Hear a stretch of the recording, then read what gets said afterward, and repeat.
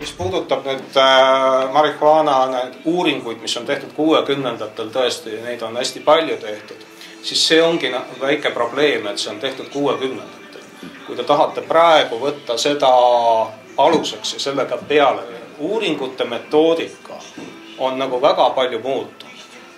ja, ja sellega sõidetakse teile kohe sisse ja üle vaatamata sellele, et jah, need on väga, väga normaalsed uuringud, tegelikult igal aastal. igal aastal, täpselt. kuni kaks tuhat kaksteist, kaks tuhat kaks, kolmteist kas on kontrollgrupid, kui suured need on. annaks Mardile äkki sõna. Individuaalselt, et kõiki uuringuid ei saa lüüa ühe, ühe. Just. palun helistage Siimoni väga erinevad. siin, siin ennem käis ka läbi jutt sellest, et äh, kanep on võib-olla kasulik, et äh, kas teil on midagi raviotstarbelise kanepi kohta oma programmis, sest et äh, Eestis teadupärast raviotstarbel kanepi väljakirjutamine on lubatud juba tänaseks üle kümne aasta. aga mitte ükski arst ei ole taotlust sisse andnud, et mis on teie arvates selle probleemi põhjuseks ja kuidas saab seda asja paremaks teha? Vaata, ma hea meelega võtaks need tõkked maha kindlasti. kuna saaks väga konkreetsed vastused, kus need tõkked on. sellepärast, et äh, ma, ma usun, et kõige, kõige keerulisem on nii-öelda ametlikult see esimene välja kirjutada. et kes on see julge ja selle asja ära teeb. pigem siin, pigem siin ei ole ju juttu sõltuvusest, vaid pigem on sellest, et inimestel on migreenid ja, ja vajadused ehk krambid ja asjad, mille vastu tegelikult kanep aitab, meil ei ole võimalik tänapäeval seda saada kätte. et kanepil on raviomadusi, et, et mingil, mingil hetkel nad on vajalikud ja mingisuguses situatsioonis kanepipreparaatide, preparaate ma on mõtlen, see on, see on õige ja siin ei ole nagu Rick vaidlust. teab täna kõik. selline küsimus, küsimus täpsustada, et on olnud näiteks äh, ravimitööstuse lobi, lobi inimestega? väga palju. et kas sealtpoolt see lobi on nagu väga selgelt vist äh, kanepi vastane, kui ma ei eksi? ei ei, Ei. ma räägin teiega lähemalt sellest. mm,. noh, vaata, pole ravimifirmadel sellist äh, noh, a priori sellist kanepivastast seisukohta. vastupidi, ma siin öö, mõned päevad tagasi puutusin kokku ühe noh, küllalt olulise, ütleme ravi, ravimibusinessi tegijaga ja tema ütleb, et okei okay,, väga hea, tooge see apteeki, tooge mis apteeki? tooge kanep apteeki. noh, ja on väga ja tema on nagu väga rahul sellega, kui kanep oleks apteek. mina, mina ei ole kanepi vastane, saate ometi aru. ma ütlen teile, missugused raskused tekivad, kui, kui sellega välja minna. tähendab, ma lihtsalt tean, mis, missuguste argumentidega selle vastu tullakse. no me ei saa raskuste Mis on pärast need jätta argumendid? tegemata asju, on need me oleme sellega väljas, aga me oleme sellega jah, mida, mida peab arvestama. Estonia should make her own research to get independent. Her own research about the issue. Not listen to Germany, not listen to the States, not to Russia. All these countries legalizing at the moment. It's a process. It comes not from today to tomorrow. The, the world would go crazy. It goes slowly. Yeah? And uh, why we a program like make Yes, a research national cannabis independence. make a research institute meil on üks kandidaat on siin veel äh, tunnen, võib-olla siin veel kedagi, keda ma ei tunne ära kandidaatist. aga äkki tutvustad ennast ja, ja astud ka meie vestlusse. ei teaks, ma julgen. olge segalik seltskond. Jevgeni minu nimi, kandideerin Eesti Vabaerakonna nimekirjas siis Riigikokku ja minu kolleeg Maris Meriste, kes on ka Vabaerakonna liige ja kandidaat. tähendab, minu isiklik positsioon on, et äh, kanepit tuleb legaliseerida Eestis, et äh, ma kahjuks ei saa teile kinnitada, et see on Vabaerakonna positsioon. meie äh, erakonna mm, programmis, mis on nüüd koosoleku poolt ki- kinnitatud, on kirjas küll kahtlev seisukoht, et kas praegune karistuspoliitika on äh, efektiivne. et äh, noh, see oli kompromissi või noh, meie arutelude tulemus, selline kompromiss, et vähemalt küsimärk oleks sinna pandud, sellepärast et on sellised vendid nagu mina, eks ole, kes ütlevad, et legaliseerida kohe. on need, kes, kes vastavad mulle juhatuse listis, et aga mul on kaks last ja ma ei taha, et neist kasvaksid narkomaanid. ära tee seda, palun. aga noh, seda ma võin, seda ma võin kinnitada, et juhul kui mind valitakse Riigikokku, siis vähemalt nagu selle teema eeskõnelejaks ma võin ka olla seal, et ma loodan, et ma leian seal veel mõttekaaslasi. aga noh, minu põhimõte on see, et, et äh, igasuguseid süüteokoosseise võiks Eesti karistusseadustikus üldse olla vähem ja siis äh, ka selles valdkonnas tuleb äh, teatuid äh, uuendusi, mööndusi teha, et äh, kogu aeg nagu panna inimesi vanglasse või karistada äh, selle eest, et äh, nad, ma ei tea, suitsetavad kanepit, et see ei ole efektiivne ja see, ja see ei ole ka Euroopas, Euroopat ja Ameerika, Ameerika trende nagu arvestades. suitsetamise eest enam kinni ei panda. nojah, see on väärteo, väärteo koosluses, aga ikkagi, et noh, siiski aresti saab kohalt, kohalt küll, jah no ja uuest aastast, aga eelmisest. et praegu arstid saavad välja kirjutada kanepit mm, -hmm. siis kas kellelgi on mingeid uurimisi selle kohta üldse, miks nad seda ei tee? kui see on juba kümme aastat äh, olnud, miks siis keegi ei ole seda teinud, kas keegi on üldse uurinud selle? reputatsioon, reputatsioon. ja, las Mart vastab um,. päris palju on meile kirjutanud, MTÜ-le Ravikannet on kirjutanud patsiente, kellel on see mure, kes on rääkinud oma arstidega ja kelle arstid on mõned on isegi öelnud, et äh, ja me esitasime avalduse, aga et see tuli tagasi, et äh, sotsiaalministeerium kinnitas ka, aga maaletoojad ei taha kuuldagi sellest. meie uurimised seejärel sotsiaalministeeriumist, kas tegelikult on selliseid avaldusi olnud, on näidanud, et vist ei ole. ilmselt arstid räägivad oma patsientidele natukene ujuttu siinkohal. nii et nagu pakuvad siis mingit alternatiivi või?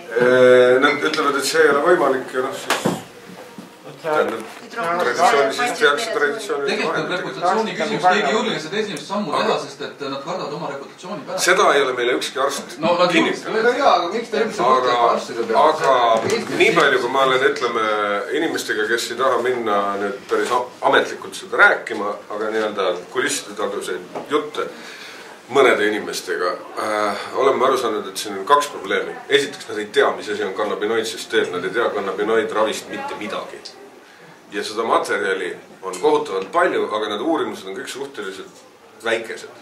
et selliseid, eh, sellel tasemel uuringuid, mida tehakse eh, nende noh, traditsiooniliste ravimitega, eks ole, farmaatsiatööstuse toodetega, eh, mis peavad olema mastaapsed, kolmeastmelised, kliinilised, päris patsientidega, noh, sadade inimestega. et neid ei anna teha kanepiga ja seetõttu ei saa nad kanepit soovitada, sest nad ei ole päris kindlad, mis see on. ja peale selle, noh, keegi pole neile õpetanud, nad pole, nad eh, võib-olla ei taha seda tunnistada, aga nad tõenäoliselt paljud neist ei ole kannabinoidsüsteemist kuulnudki, sest Tartu Ülikoolis on sellest mööda minnes neuroloogidele rääkima hakatud viimastel aastatel.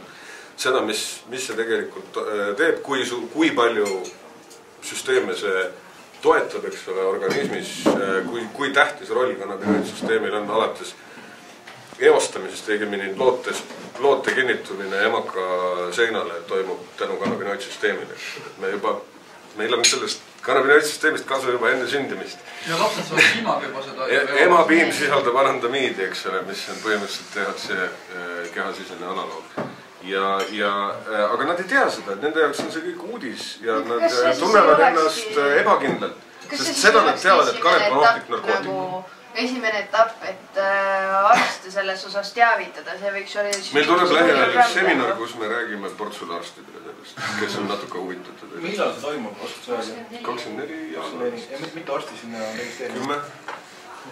meil on üks patsient on olemas, äh, kes täna käis ka arsti juures ja kes on avalikult tunnistanud meedias, et tema tarvitab oma haiguse leevendamiseks kanepit. Äh, Triin oli täna koos patsiendiga arsti juures, äkki räägid paar sõna, kuidas läks? tere, ma olen Triin käisime täna äh, ma ei tea, kas te nägite seda saadet Radar, seal käis niisugune inimene nagu Marku Selts, kellel on äh, MS haigus. see oli mingi kuu aega tagasi. jah, võib-olla see oli jah, mingi kuu aega tagasi ja tema oli nõus siis olema nii-öelda esimene patsient, kellega siis, jah, palun. mis see MS haigus on? Äh, multiple skleroosis. skleroosis mõtleb, et hulgiskleroosis. See on autoimmuunhaigus, millest tõttu nagu keha hakkab ise ründama mingeid. võib, võib tõesti nii olla. ühesõnaga, see haigus on niisugune, et seal ei ole mitte mingit ravi, see läheb tal hullemaks, hullemaks, hullemaks, kuniks ta üks päev selle tõttu nagu sureb, eks ju, et noh, tal mingit pääsu, mingit ime seal ei juhtu, aga saab tal teha elu mugavaks, saab tal teha olukorda paremaks, et ta saaks paremini karkudega käia, noh, ise tualetis käia, kõik niisugused asjad, eks ju. et väga-väga raske haigus ja mingit pääsu ei ole. ja leid-, meil on üks arst, kelle juurde me läksime, see on üks Hiina meditsiiniarst tema oli nõus välja kirjutama patsiendile ja me täna läksime sinna kohale, täitsime ta ravikaardi ära, arst vaatas ta üle, tegi talle ka nõelravi natukene. noh, et üldse tugevdada ja aidata kaasa. ja arst oli nõus. see mõjutab ka enda kannabinoidsüsteemi ju. ja noh, tal on seal teised asjad, meil ja neerud, neere tuleb toetada nende tegevust, kuna sealt hakkab ko- kogu keha nii-öelda pihta, eks ju, ja ja, ja arst ütles, et jah, et kindlasti on vaja talle ka- kannabinoidravi nii-öelda ja seda on vaja pidevalt, see ei ole ainult üks kord või üks kuu või kaks kuud. Ja me täitsime ravikaardi ära, aga meil on praegu asi jäi selle taha lihtsalt kinni, et ta peab võtma väljavõtte oma nii-öelda haigusloost, mis pannakse sinna ravikaardi vahele. Ja siis me saame reaalselt esitada taotluse sisse ja Markus ise praegu ütles, et ta on saanud, et ta oli väga meeldivalt üllatunud tänu sellele Radari saatele, ta sai nii palju positiivset tagasisidet, ta ütles, et inimesed hakkasid niimoodi kirjutama talle, et kui paljud inimesed tegelikult toetavad seda, et kanep oleks legaliseeritud, kui paljud inimesed lihtsalt suitsetavad, kui paljudel on endal mingid tõsised tervisehädad, kes vajavad samamoodi abi nagu tema, eks ju. et nüüd ta võtab seda, aga jällegi samamoodi nagu arst täna ütles, et tal on vaja absoluutselt iga jumala päev seda tarbida, tal ei piisa sellest üks või kaks kuud, see tema jaoks eh, on ainult lühiajaline, eks ju. et see tegelikult äh, nii kiiresti ei mõju, sest kõik asjad võtavad aega. ilmselgelt tal on ka kompleksravi vaja, see ei ole ainult nii, et ta võtab seda õli ja kõik on maagiliselt ilus. tal on seal palju teisi asju, millega ta peab ka tegelema. aga asi on positiivne aga tal on nüüd väga palju infot selle kohta, et inimesed talle tagasisidet andnud, et tegelikult sellised inimesed tuleks koondama hakata ja nagu tekitada pretsedent, ma arvan. Ma usun, et äh, see aitaks nagu ka natukene kaasa siin nii rohelistele mõtlemise juures kui punastele ja muudele asjadele, et äh, ma usun, see on väga hea algus. nii et sellega me tegeleme edasi järgmine nädal kindlasti ja, ja kui uudised on, siis te kindlasti kuulete siit või sealt, anname teada. hulgiskleroosil on mitu avaldumisvormi, need ei ole kõik, kõik hul- hulgisklerootikud ei, ei kannata samade probleemide all sama ägedalt. et on teatud äh, ägeda vormiga hulgiskleroosi põdejate patsientide allrühm, kelle jaoks konventsionaalsed ravimid ei anna soovitud tulemusi, aga kannabinoidravi annab.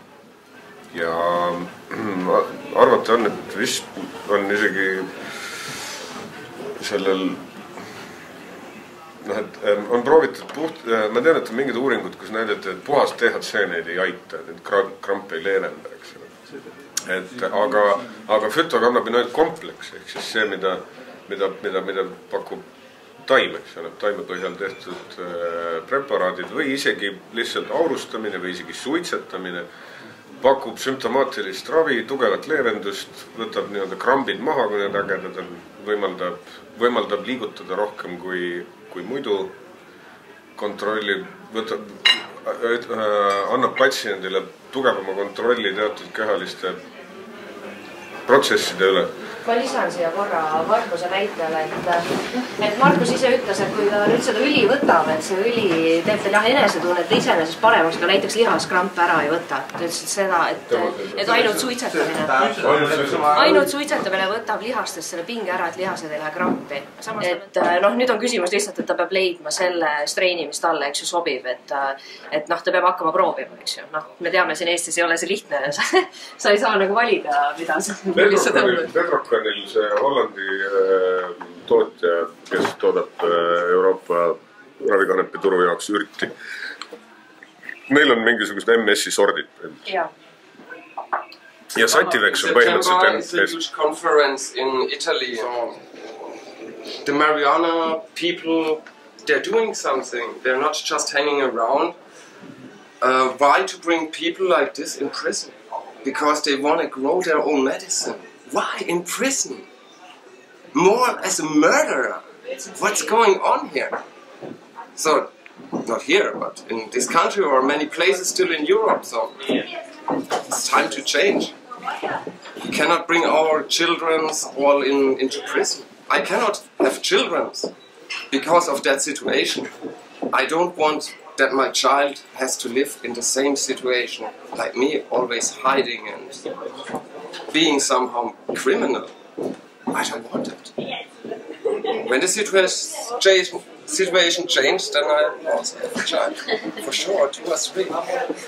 Then they can live in peace. And not for a slave of the pharma industry or whoever. Medicine should be free and everybody should decide what is good for himself. You're adults.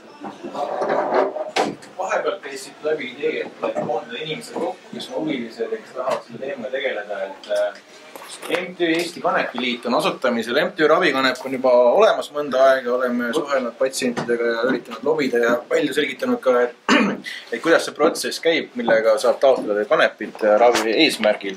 aga MTÜ Kanepiliidu asutamisest, olukorrast ja kuidas saab liikmeks astuda ja mis on need eesmärgid, et võib-olla Triin paari mm -hmm. sõnaga. Pikas perspektiivis su mõte on see, et MTÜ Ravikanep liitub MTÜ Kanepi Liiduga ja saab eraldi töörühmaks selle sees mm. -hmm. Oleme väikse hundiga koos käinud, arutanud, muret tundnud nende asjade üle, leidnud, et äh, me ei taha elada sellises Eestis, nagu see praegu on. juba pikalt meil on aasta aega täis saanud tegelikult.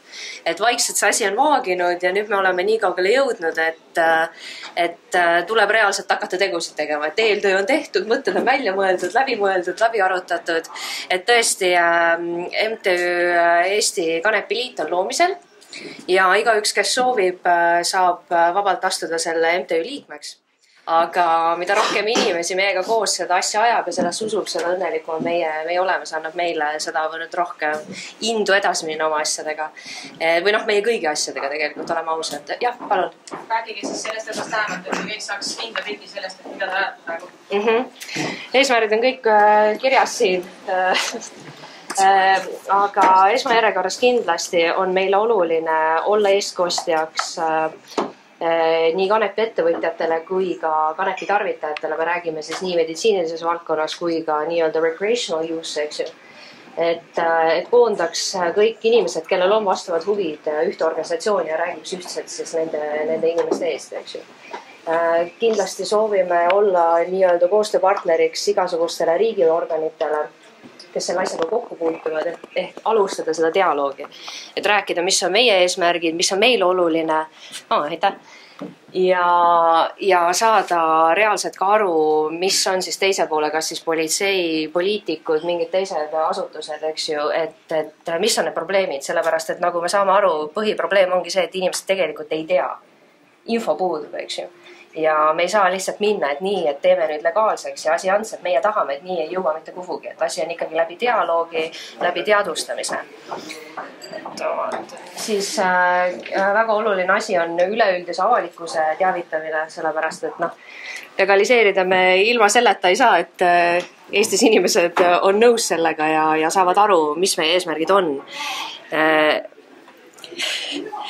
ja kui me räägime nüüd sellest, et noh, meil ei ole eesmärkides otseselt kirjas seega põhikirjas, et äh, legaliseerime kanepi ja see on ka, see on ka meil põhjusega siia pandud, et muidugi me seda taotleme ja see on meie eesmärk ja, ja mitte nii, et äh, kõik vabaks ja vaba maa, et igaüks teab, mis taha, teeb, mis tahab nii-öelda. aga ikkagi reguleerida seda mõistlikult, noh, kasvõi see, et alaealised ei saa seda, eks ju, teatud kohtadest ostad, et. et sinna, sinna me kõik jõuame, aga me soovime ikkagi teha seda, seda mõistlikult ja, ja mitte täiesti vabaks lasta.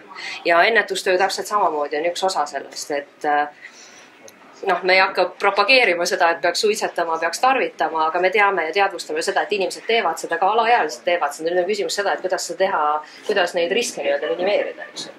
et anname, anname nagu endale aru sellest ja soovime ka pakkuda nõustamis- ja tugiteenust. et see on ka suur osa nii meil siis meditsiinilise kanepi puhul, et aidata patsiente viia kokku õigete inimestega, anda neile õiget infot, mis on üldse võimalik, mis maailmas toimub, sest oleme ausad, mitte keegi üksi ei jõua sellist info hulka läbi töötada, nagu igal, igal pool on, eks ju. mul endal on igapäevaselt väga suured raskused juba sellega, et kursis olla kõigega. et kindlasti pakkuda seda tuge ja nõustamist. Need on meil peamised eesmärgid super. äge, minu arust ka. kui me räägime ka nii-öelda meelelahutuslikust kasutamisest, siis äh, võrreldes alkoholiga, kus igal aastal sureb Eestis otseselt alkoholi tõttu üle viiesaja inimese, siis kanepisse ma ei tea, et oleks keegi veel Eestis ära surnud. kolmkümmend viis kilo peab ära tegema, siis. poole tunni jooksul. kolmkümmend viis kilo poole tunni jooksul, viieteist minuti jooksul. siis on ta ohtlik. inimene minestab ära, kui ta liiga palju tõmbab. väga ohtlik kanep. aru ka, et kukud Jaa. enne, enne jääd magama, kui midagi nii tõsist jõuad korda saata sa võid, sa võid kasutada meditsiinilisel ja teaduslikul eesmärgil, see on kirjas ja võivad, õppeasutused võivad seda teha, Ravimiamet võib seda teha ja politsei võib ka teha, aga mina ei tohi ja mina, mind pandi vangi. ei, ei mitte sina. ravikanepis sisalduvad ka need ained äh, ja neid preparaate on, on ürdina on saadavad ehk siis nagu taimena, õiena saab suitsetada seda, Pedrocan müüb üle Euroopa. ja siis on ka, mis on viimane tekkinud, on niisugune tinktuurilaadne asi, mis on Sativex on nimeks. toodud kallis, toodud kallis, mida, mis kasutus Soomes on näiteks. põhimõtteliselt on tegu kanepist tehtud tinktuuriga, kus on väga kontrollitud äh, vahekorras erinevad äh, kannabinoidid kui mu mälu ei peta, siis neil on eh, üks-ühele on DHC ja CBD suhe, et eh, paljude haiguste puhul eh, millised sordid mõjuvad inimesele kõige paremini, on just vastavalt sellele, et milline DHC ja CBD suhe on. et see eh, pigem on nagu individu-. see on individuaalne. See on individuaalne, et see ei ole kõigile ühte ravimit ei saa anda. et see, see oleneb väga. välja, välja kirjutada ikkagi seda ei saa. Põhimõtteliselt saab küll. keegi ei kirjuta, see see Pigem probleem ongi. pigem Eesti viga hakkab sellest pihta, et meil on ei loe. narkootikumide pingereas tõstetud äh, liiga etteotsa tegelikult ja, ja väga, väga nagu näotul kombel, sest et äh, tegelikult äh, need muud ained on kindlalt kahjulikumad ja seda on tõestatud ju uuringutega ja, ja mitte ainult, mitte, mitte Eestis, vaid üle maailma tegelikult ju et kui kõik räägivad, et kuidas äh, ravimifirmad tähendab suruvad kõike maha ja nõnda edasi, ravimifirmadel on täpselt samasugune probleem näiteks Ravimiametiga, Sotsiaalministeeriumiga, Haigekassaga. haigekassas on näiteks ravimite tarvitamise piir toodud kahekümne protsendile eelarvest, seda ei taheta nagu ülespoole nagu mitte kuhugi panna haiglatel on oma lobi, eks ole, et, et raha, raha neile suunatakse. ravimifirmadel on oma lobi. ühesõnaga, see on palju keerulisem süsteem, kui te nagu ette kujutate minu arust. ja mm, ravimifirmadel on aeg-ajalt väga keeruline tuua siia näiteks Saksamaal täiesti registreeritud ravimit. Lihtsalt äh, üt- ütleme, Ravimiamet ütleb, et, et no ei, et samasugust, samast rühmast preparaadid on täiesti olemas, et miks, miks te tahate siia tuua ja teie taotlus pole põhjendatud ja ongi kogu moos. nii et minu arusaam seadustest on, on selline, et, et meil on äh, ministri määrusega kehtestatud need erinevate narkootiliste ainete nimekirjad. On esimene nimekiri kuni neljas nimekiri ja need aine, mis on esimeses nimekirjas, nende taotlusprotsess on sama keeruline nagu ravikanep.ee seal kirjeldab. ehk siis arst, ministeeriumi komisjon, maaletooja juurde ja nii edasi, nii edasi, võtab äh, pikalt aega aga teise nimekirja ravimid eh, on eh, sellise potentsiaalselt ohtlikud, ehk siis nende jaoks on eraldi termin, ma ei tea, kas see on ametlik termin või ilmselt ei ole. nii-öelda narkoretsept, mis on niisuguse suurema järelevalve all eh, lühema tähtajaga lunastamiseks, aga eh, selle, sinna alla kuulub näiteks metüülfenidaat, mis on niisugune, ütleme, lahjem versioon amfetamiinist, kasutatakse ka laste ravimiseks, kui neil on ADHD näiteks. Et eh, kõige lihtsam viis teha võib-olla kanep, kanepipreparaadid eh, kättesaadavaks just Eestis oleks see, kui sotsiaalminister teeks määruse, et liigutame kannabinoidid esimesest nimekirjast teise nimekirja. Ja siis saaks arst välja kirjutada seda äh, nii-öelda narkoretseptiga, inimene läheb apteeki ja ostab sealt lihtsalt, ei ole mingit pikka protsessi, ei ole mingit pikka jamamist. Nii nagu ta praegu saab opioide ja amfetamiini. amfetamiin on esimeses, metülfenidaat on teises. aga amfetamiini sisaldusega mingid ravimid on meil ju ei, see võib-olla mingisugused amfetamiini soolad, mis ei ole päris puhas amfetamiin. okei, jah. jah, mis on teises nimekirjas. kõik ilmselt teame, et kanep ei ole lihtsalt üks asi mm, -hmm. vaid see on taim, millel on äh, nagu sadu, kui mitte tuhandeid sorte, mis ükski ei ole mitte kuidagi standardiseeritud. kui me palume arstidel uurida kanepi mõju organismile, siis meil peab olema mingisugune, mingisugune normkanep, millest nad saavad alustada, eks ole. aga samas me teame ju ka, et kõik see sümptomaatiline ravi, mis, mis toimub, eks ole, need äh, dokumenteerimata andmed, andmekogumid, eks ole, selle kohta, millised sordid aitavad milliste haiguste vastu. see on kõik praegu mitteakadeemiline, sellepärast et pole olemas alust üldse selliste asjade uurimiseks, pole mõõdupuid. tegemist on kohutavalt mitmekülgse küsimusega. ja, ja see, kui me näiteks noh, ühest küljest on väga hea väita, et Sativex on juba teinud ära mitmes Euroopa riigis, eks ole, need vajalikud mitmetasemelised väga, väga laia vali, väga suure valimiga, eks ole.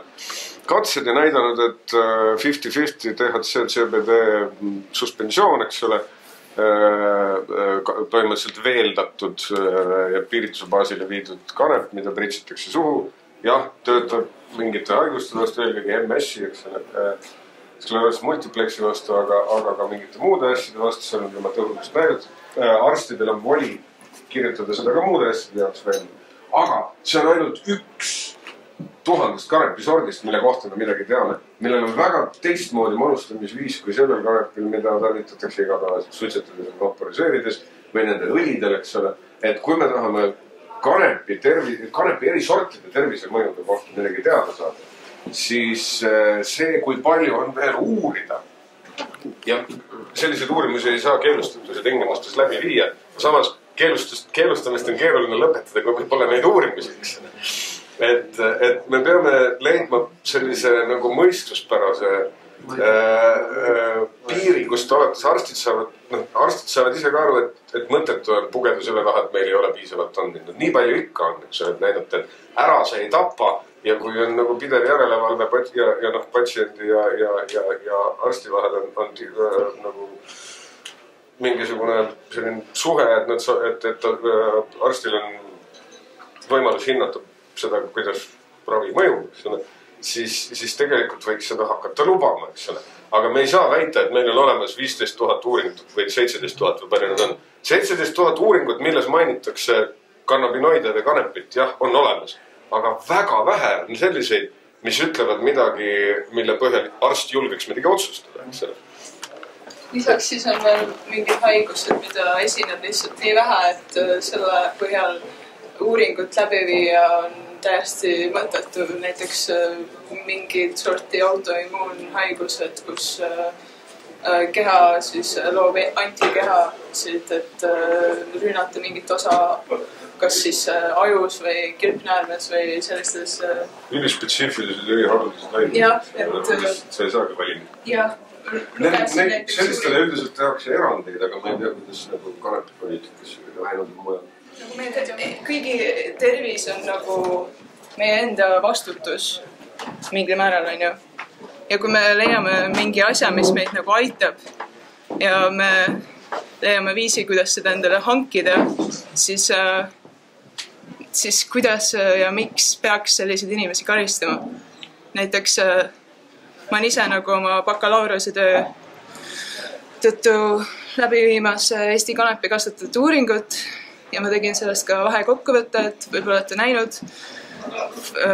et vahekokkuvõttes oli kirjas, et noh, ma tõin välja, et kakssada nelikümmend inimest vastas sellele ja seitsekümmend kaheksa inimest väitsid, et nad kasutavad kanepit ravi otstarbel et, et jah, võib-olla neil ei ole kõigil nagu siuksed näidustused, mille puhul saaks neile sada protsenti, sajaprotsendilise kindlusega välja kirjutada seda, aga kui nad teevad seda siiski põhjustel, kui nad tõesti arvavad, et see neid aitaks, siis nagu miks me, miks meie lahendus sellele on see, et me saadame nad vangi? et sellest ma ei saa aru. näiteks on haigusi, kus äh, proovidega ei ole võimalik äh, arstile selgeks teha, et sul on midagi viga ütleb, et sul proovid on kõik korras, sellest räägivad äh, mul on migreen, idamaast. mul on niimoodi. Ma käisin, on ma käisin kiirabis, mul läks äh, üks hoog nii hulluks, ma läksin sinna, mul tehti kõik testid, ma istusin päev läbi seal, mul võeti isegi selja juures luuüdi ja öeldi, et sul on kõik tipp-topp. ja siis sind ei usuta. see ei ole võimalik, sa tahad noh. lihtsalt kuradi kaifi saada, aga see ei ole see, tegelikult on inimestel äh, täpselt samamoodi siin ju muu asi ei aita, kõiki ravimeid on proovitud. Ja ja need ei seda võta migreeni oma migreenid. keegi tuvastada, et sul see reaalselt on. ma käisin. MRI-s samamoodi, mul oli ajus kõik tipp-topp, mitte mingi, mitte midagi ei ja, näidanud. ja kui- miks, mismoodi võetakse see õiguse enda ravimisel siis nagu käest ära öeldakse, sa pead seda proovima, ometi on proovitud ja see ei toimi. ja mille, ja kui sa see nagu võtad omal migreeni ära, siis hommikul pannakse käed raudu ja viiakse vangi. Et kas see on nagu, nagu inimlik maailm? rahva tervisevastase kuriteose. jaa, aga keda ma nagu tüütan, ma olen äh, viibinud väga palju kanepi suitsetajate seltskonnas ja, ja ma ei ole näinud äh, mitte kunagi mitte ühtegi kismat. ma olen suit-, viibinud väga palju alkohoolikute äh, seltskonnas ja ma olen näga, näinud väga palju kaklust elu sees. et äh, seda ei usuta loomulikult, kes ei ole seal käinud. kes ei tea, see ei usu. just, ei usu jah. minupoolne kommentaar oleks ka, et äh, siiamaani ainukene negatiivne asi, mida ma nagu noh, personaalselt katsetades olen näinud kanepis, on see, et võib-olla vahepeal tõesti võtab laisak, et siis sa pead ennast kokku võtma, et teha ära need tähtsad asjad, mis kanepi suitsetamise välisajal muidu oleks nagu elementaarsed. vahest harva juhtub, aga muidu nagu jah, tõesti probleemi pole nagu. Muidugi oluline on kõigepealt aidata inimesi, kellel seda tõsiselt vaja on, mitte et me saaks seda tänava peal suitsetada. see ei ole eesmärk tegelikult, aga meil on tegelikult Eestis juba väga-väga palju inimesi, kes seda reaalselt vajavad. kui meditsiiniliselt. ma siin, ma ma tahtsingi mingis mõttes selle jutuga, mida ma seni olen rääkinud, sinnamaani jõuda. kui me saavutame lõpuks selle, et patsientidele hakatakse tõesti välja kirjutama ravikanepit, siis selle hind võrreldes tänavakanepi hinnaga kujuneb neile mõrvarlikuks. see on väga kallis lõbu ja ma ei usu, et äh, haigekassa seda kinni maksma hakkab niipea. tulebki ja, ja selleks ma arvan, samal ajal kui me te, näeme vaeva sellega, et ve- veenda üldsust, et patsientidele on seda vaja ja muuta seadused niimoodi, et patsiendid seda lihtsamini kätte saaksid, me peame tegelema ka dekriminaliseerimisega. Et väikese koguse enda tarbeks kasvatamine ei oleks enam karistatav oma kriminaalkaristus. kasvatamine, okei okay,, üks-kaks taime või kui sul on gramm taskus, tõesti, kui sul tuleb migreenijook tuleb teinekord peale nii, et äh, ega ta ei helista sulle ette, et äh, okei okay,, ma tulen viieteist minuti pärast, mul on sellist kanepi, mis just mulle sobib, eks ju, et ütleme, et teen niisuguse kerge hai, et võtab valu ära, aga ma saan fungata, ma saan oma päevaga edasi minna, eks ju, on inimestel on vajadused nii erinevad. Te olete politsei poolt öeldud, nagu ma aru saan sellega, et politsei avaldaks andmed, et äh, tänava pealt ära võetud kanep, et äh, mida ta tegelikult sisaldab, mis mürk, et inimesed teaksid ja oleksid kursis, et äh, mis need ees ootavad, kui nad selle kahekümne eurose grammi ostavad. Bill Reportsi kanepi variant kohaliku turu jaoks. just, see tähendab seda, et äh, tegelikult see tõmbab need, kui ema-isa suudavad selgeks teha, siis need koolilapsed võtab sealt tagant juba ära või, või natukene, kellel juba mõistust hakkab pähe tulema, ta hakkab aru saama, et ta ostab reaalselt sealt igasuguseid aineid kaasa, mis ei ole sugugi kasulikud, me oleme ju kursis sellega. miks neid asju ei avalikustata? miks me ei tea sellest midagi, need on ju ometi võimalik teha.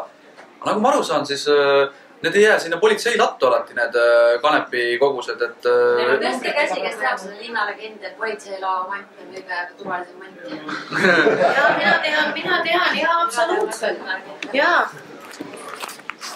miks ta peaks olema, see on ju seesama asi, mida niikuinii korjatakse tänavalt. täpselt. miks ta peaks olema turvalisem? Puhtekspertiisi instituut on ju kui on nagu mingi jama, siis see on arvan töötab. Ma ma tean, et meil on seltskonnas inimesi, kes on äh, ise kasvatanud enda tarbeks, sellega vahele jäänud, saanud karistused. kas keegi teist oleks nõus rääkima oma kogemusest ja kokkuvõttes politseiga? noh, mina võin rääkida. aga, aga räägi. üks eraautoga ära riietas meest, siis järsku kaob välja, küsis, kas ma olen valmis masinat, et jah, olen, näitavad tõendid, et kas sa korraks saad tulla siia autosse. istun korra autosse, lüüakse mul käed raudu ja äh, siis äh, näidatakse, et nii, nüüd on, nüüd on niisugune case, see ei ole nali, see ei ole nali äh,. läbiotsimisorden, nii mu kodu kui mõlemad autod. ja siis, no siis ma sain aru, et mul ei ole mingit pääsu nagunii ja ma tunnistasin, et jah, mul oli seitse taime oli keldris oma kodus oma tarbeks kasvatasin seaduste järgi, siis suur kogus on juba seitse koma viis grammi ja, ja DHC sisaldus on null koma kaks grammi. ma arvan, et siin seltskonnas ka, kaasa arvatud mul endal juustes, ma arvan, on ka see null koma kaks protsenti DHC-d olemas aitäh. igal juhul tulemus on see, et ma olin kakskümmend kaks päeva vangis. seal siis mind alandati, pidin seal paljalt kükke tegema. stigmatiseeriti, öeldi, et sina oled kurjategija, sa oled pätt. miks sa, see, mis, mis vangivalvurid asi oli, et türa sa ronisid siia, türa sa ronisid siia no, iga asja peale. kas mees saab üldse aru, mis sa oled? mul on kolmeaastane tütar, väga tore tütar, väga tore naine kõik on korras, ma ei ole muus mõttes pahuksis äh,. siis ühesõnaga kõigepealt alandati, siis stigmatiseeriti, siis mida minul, minult ei pekstud välja nagu mingisuguseid teisi nimesid, aga mida ma kuulsin teistelt kamraadidelt, oli see, mida tehakse, on see, et nii lihtne on statistiliselt saada kätte, et noh, kui kõik, sa annad kellelegi nuga või niimoodi, siis väga raske on tõestada tõendusmaterjali aga sa saad kätte kellegi, tal on kümme grammi taskus, korras, pumm. ja mis siis tehakse veel, on see, et mis on minu meelest väga hull, on see, et aetakse omavahel, näiteks Tartu, eks ole, väike linn, aetakse seltskonnad, noh. ja need on need tegelikult alfaisased, need on need äh, toredad, toredad Eesti poisid, nad ei ole mingid kurjategijad, noh, kes lihtsalt mõtlevad, et mis asja, see on taim ja see on looja poolt nagu annetus. ja, ja, ja need korjatakse ära ja siis sa pead andma nagu välja, siis tehakse seda psühholoogilist relvi. ja siis neljas asi loomulikult, mis, mida ma seal selleks, et ma üldse suutsin toime tulla seal, selle pidime ära unustama, et mul on perekond ja lähedased. pidin lihtsalt muutuma psühholoogiliselt täiesti külmaks nagu, täiesti ära unustama nagu. ma, mul ei ole mitte midagi, mul ei ole mitte kedagi. Ja, ja noh, ja siis, kui me räägime veel, kogu see kogemus, mis, mis ma sealt sain, oli ikkagi see, et see on kurjategijaid tehakse, et see on sihuke kass ja hiire mäng, eks. võetakse kinni, sul on nii lihtne kätte saada, siis sind lastakse maha, lastakse sind välja ja siis, ja siis tegelikult noh, praegu ka nüüd mul on siis kolm aastat tingimisi ja ja, ja praegu ma siis käin kolm aastat mööda joont loomulikult. aga noh, et võtame nagu, et kus see loogika on, noh, et mina siis olin kinni sellepärast, et ma kasvatasin Tartus ja minu kambrikaaslaseks siis toodi mees, kes müüs Tartus kanepit. täiesti juhuslikult, eks ole, noh. esimene asi, siis mina sain nüüd süüdistuse, et mina olen kahjustanud, kuigi ma kasvatasin iseendale, ma iga kord väitsin neile kohtus ja igal pool kirjutasin kohe alguses ka, et ma tegin seda meditsiinilise teaduslikel eesmärkidel, siis minu süüdistus löödi paragrahv mulle selga, et ma olen kahjustanud rahva tervist siis noh, sellist asja nagu Sotak on ka välja öelnud, sellist asja nagu rahva tervis tegelikult ei ole olemas, eks. ja, ja mis siis kahjustab, eks ole, meil on lubatud kõik aspartamid, MSG-d, fluoriidid ja noh, nii edasi, eks.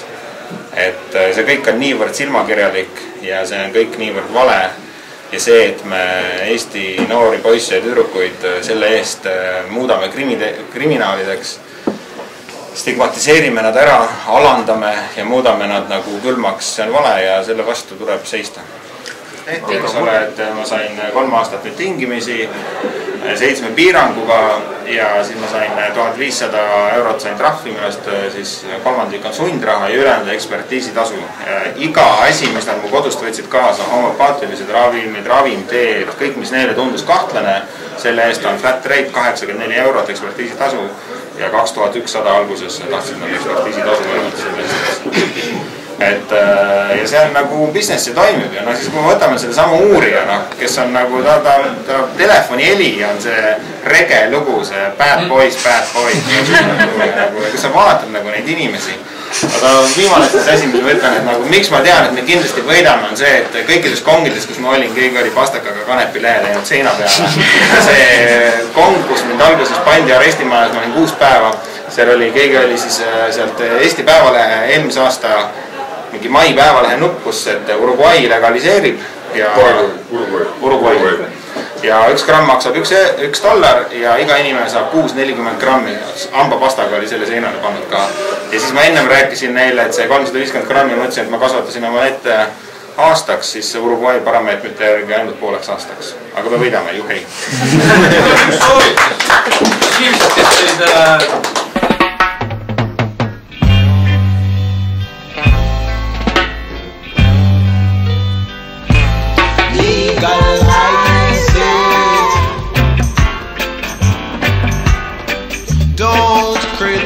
sai